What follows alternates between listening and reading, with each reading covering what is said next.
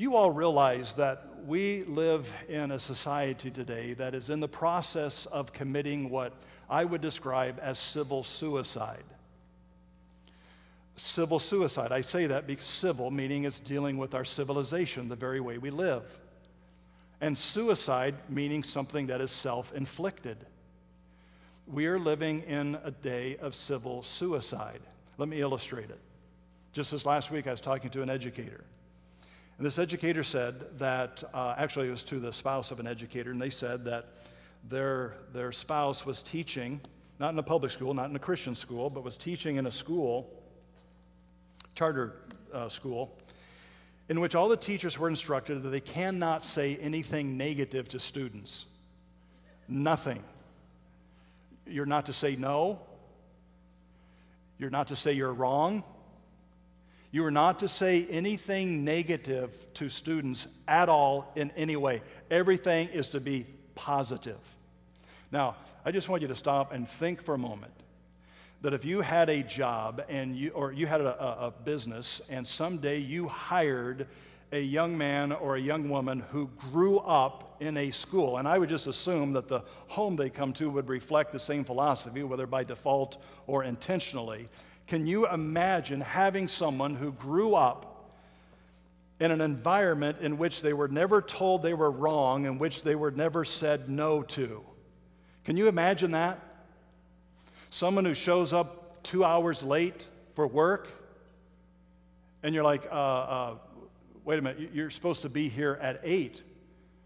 Are you saying I'm wrong?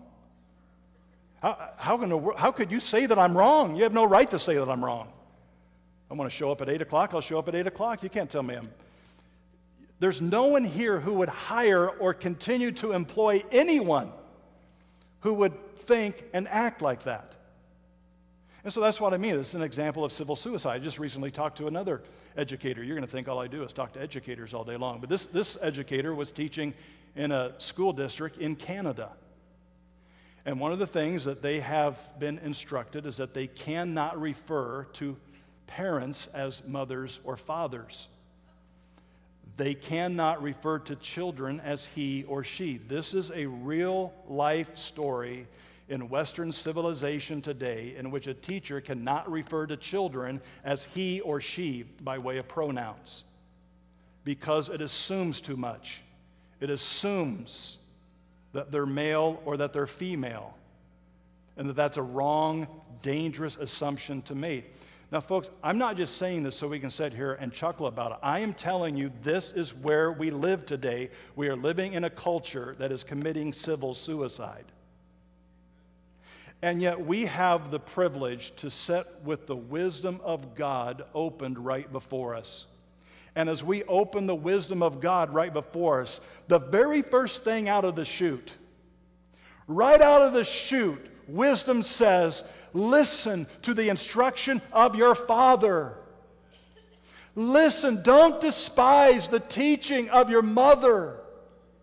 This will be rewarding to your life. This is how you learn to relate to society. This is how you learn to live under the authority that everyone must learn to live under.